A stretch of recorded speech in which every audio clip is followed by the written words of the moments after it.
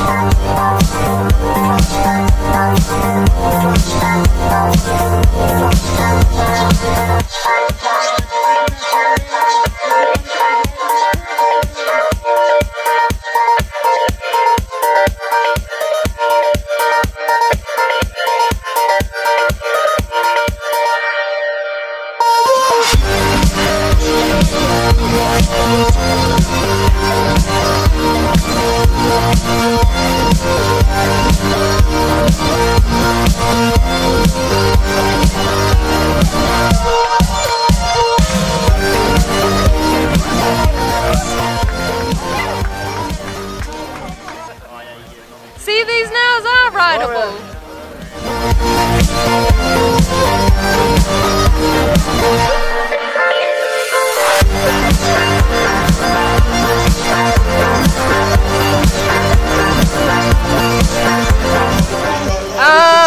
well, after the muddy river that I rode down, I came first. Definitely looking forward to the season. Definitely the perfect start to come at my first race back and come. I mean, I definitely wanted it from the inside and I tried pretty hard. Stoked. I mean, as we've talked about before, I've been dealing with a bit of a shoulder thing and been really sick. So, yeah, surprising, exciting. Means that we're heading in a good direction, and I think the move we made is quite good for moving to Polygon, and all our sponsors are really pushing hard for us. So, looking forward for the World Cup season. Yeah.